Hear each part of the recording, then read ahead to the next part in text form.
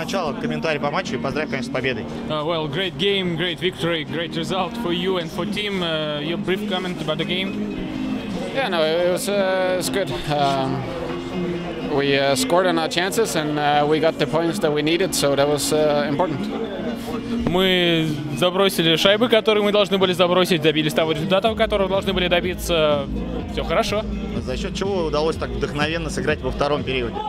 Uh, what happened in the second period when you played just the game was brilliant from Slovakia in the second period? Uh, I think it's, uh, it's because we score. You know, it, then it makes everything easier. But um, I think many games we had a lot of chances where we don't score, and today we, uh, you know, we get the extra luck and, and, and we score, and it's uh, everybody get confidence. So uh, it was a step in the right uh, direction.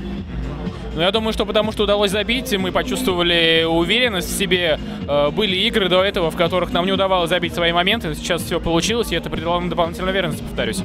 150 набранных очков теперь у него в континентальной хоккейной лиге. Знал ли он об этом и какие-то эмоции испытывает по этому поводу? Uh, now you've got 150 points in the KHL in your career. Did you know about it, and what do you feel about it? Uh, no, I I had no idea about that, but uh, no, that, that's good, I guess. Uh, I don't know if I can use that to anything now, but uh, I can look at that when I get old, not, not now.